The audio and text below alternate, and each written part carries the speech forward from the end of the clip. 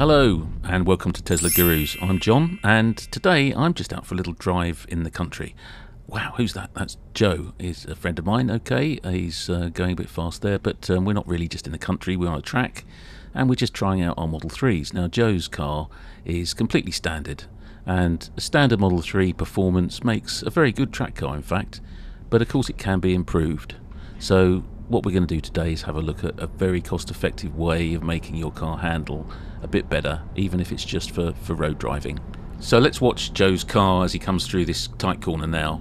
Just see what happens. Well, you can see it's leaning over there to the right, of course. The weight is transferring to the outside, and the suspension does a good job, but it can't really cope with all that weight at that sort of speed on track. So we've got to find a way of managing that, and uh, ideally a way that's not going to completely ruin the car's ride quality on the road. So here we are a few weeks later. Joe's come along with the car, and we're going to be upgrading his suspension with some parts uh, we feel this is going to make the car handle a lot better on track, but also on the road. Uh, but it's it's not really going to adversely affect the overall comfort. So what are we talking about here? Well, some of you may have already guessed. We're talking about sway bars. They are also known as anti-roll bars, which is maybe a more descriptive name for them. But they're effectively just metal bars which act as type of spring. So how do they work? What do they do? Well, it's pretty much what it says on the tin. Anti-roll bars are bars that stop the car from rolling.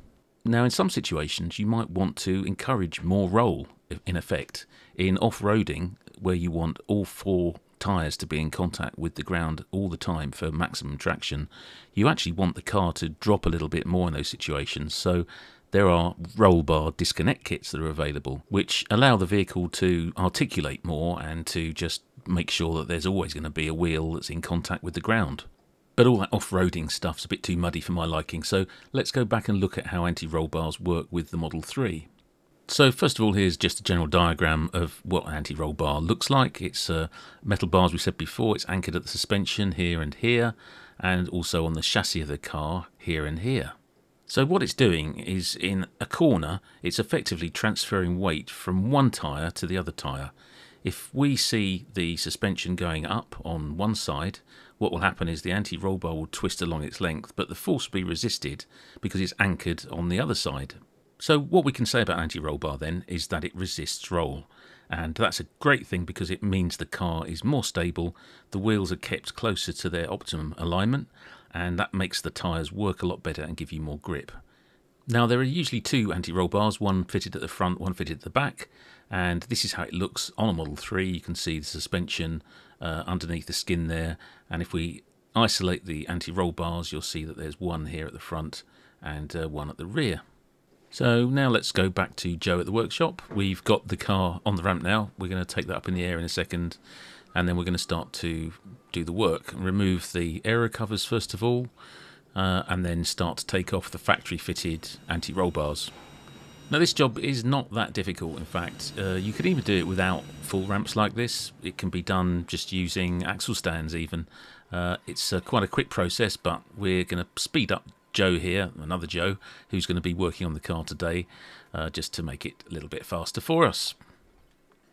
So while that's going on, I'm just going to talk about something I mentioned earlier, which is the fact that anti-roll bar upgrades generally don't affect the ride quality too much. The car, when it's on a level road and uh, it's not cornering, it's not putting any load into those bars.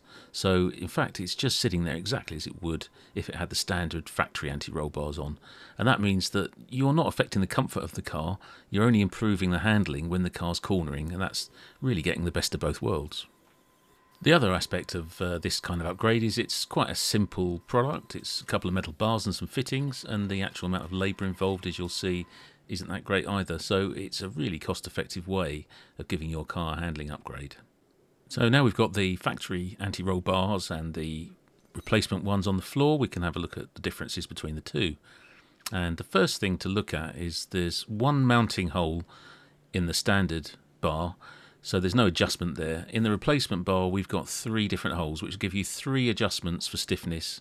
The closer that hole is to the bar itself, the stiffer the setting will be.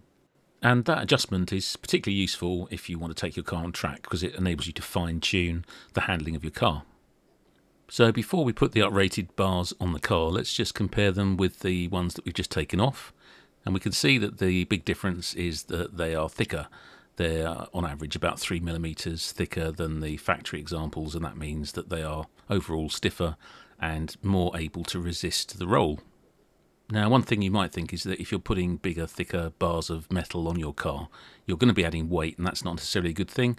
But actually, these anti-roll bars are hollow. Um, a lot of them are. Some, some on some cars are solid, but um, the uprated ones that we've got here are hollow. So you're not really adding any more weight overall to the car than you would be with the standard ones. Now, a couple of other things I'd like to show you about aftermarket anti-roll bars and how they're made. One is the end part of the bar where it's attached to the tube or the solid bar itself can be welded as in this example um, and they're really to be avoided because welds can cause hot spots and stress points which could later on lead to cracking and the bar failing which is not great. So if you're choosing an anti-roll bar look for uh, just one piece of metal it's formed out of one solid tube or bar so you can see on these ones the ends are basically crimped over as is a hollow bar, so there, there are no welds, nothing there to fail, uh, it's as strong as it can be. Here's another aftermarket Model 3 anti-roll bar. I just wanted to show you a couple of things on this one which is uh, worth noting. First of all, it had the welded ends, so as I've said before, that really is to be avoided. Uh, but it did have another problem in addition to that. If we take a look uh, from a different angle close up, we can see there's a witness mark just there, which shows that something's rubbing against the control arm near the roll bar. And from the other side, we can see that it's actually the end of this drop link here, uh, which means that the anti-roll bar was just made incorrectly to the wrong dimensions. It's too long. So as you can see, even though they're a very simple item really, there's a good and bad. Have a look at the engineering before you buy. Don't just go on a brand name. We've actually chosen these ones because they're particularly good quality. They're made by a company called Redwood and Tevo Solutions are supplying them in the UK of course. So if you want a good quality set of anti-roll bars for your Model 3, these are the ones to go for. Now, one final thing that we're going to look at before we go back and see how Joe's getting on with the fitting is to point out there is an end link or drop link that's used to connect the ends of the roll bars to the suspension. And they are often upgraded as well to adjustable end links, which allows you to make sure that the length of those are optimized for whatever settings you put your anti-roll bars on. They also tend to make the whole thing last longer and give you a little bit more precise feel in the steering. We covered this recently in a video that we made, which we'll link to at the end of this one, uh, which was comparing the standard 2021 refresh Model 3 performance with our car with all the goodies fitted. And uh, it's interesting to see the comparison there, so have a look at that video if you didn't watch it already. Even just from that, you would you would probably feel a difference on the road, yeah. Um, Let's go back and see how Joe's car's progressing, and we've almost finished. Uh, just got the aero covers to go back on. Make sure they're firmly attached, of course. And this job has really not taken a lot of time. It's taken about an hour in a, good workshop. It shouldn't take more than two hours, absolute maximum. Uh, there's nothing tricky in this, no alignment needed afterwards.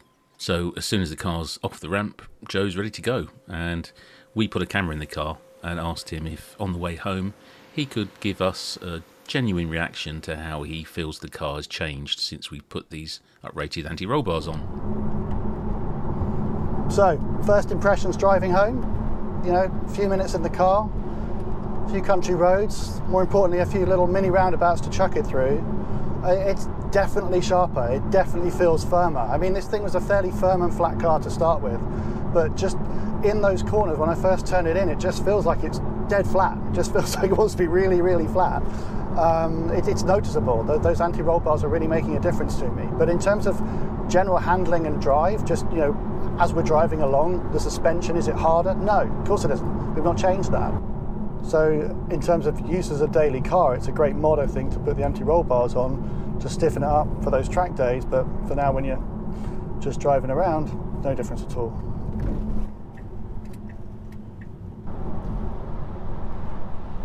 It just feels so planted. It feels like you're in a bit of a, a, a go-kart. I don't know what, it's, it's just, yeah, let's just say it feels like this car was chuckable to start with, it feels even more chuckable than before.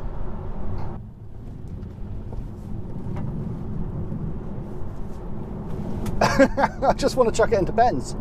That's all you want to do now. You've got these anti-roll bars. You just go, ah, another bend. I can chuck it in, and it just, it just, it's so flat. I, I can't believe how much of a difference just one piece of metal across the front of your car is going to actually make to the handling, but it, it really has.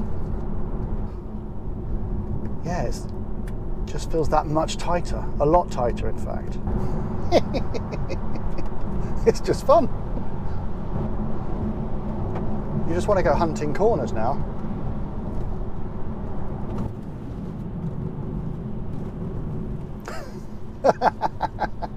it's just fun going around a roundabout. You just turn in and it just keeps turning and turning, and you just you're expecting to sort of dive a bit and give. It just doesn't. It just wants to keep turning. It's great fun. It's it's definitely better.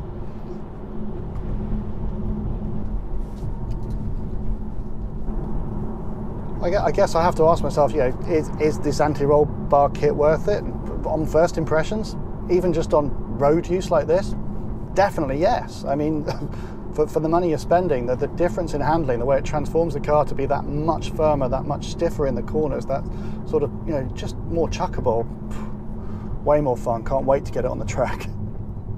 Well, Joe seems quite happy with his upgrade there, which is great to hear. And normally, I'd be taking you out on track again and showing you just what difference it made to the car.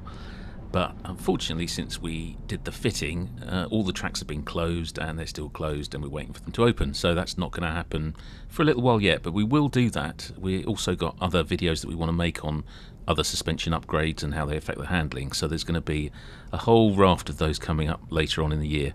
But for now, you're just going to have to enjoy me driving around on my own on an empty track, uh, just sort of having a bit of fun, really. If you want to see more track driving, let us know in the comments. But in the meantime, please do click like and subscribe if you haven't done already. And if you enjoyed today's video, that's great. If you want more details on the products we've been discussing, that's going to be in the links in the description below. But all that remains for me to say is see you next time, and bye for now.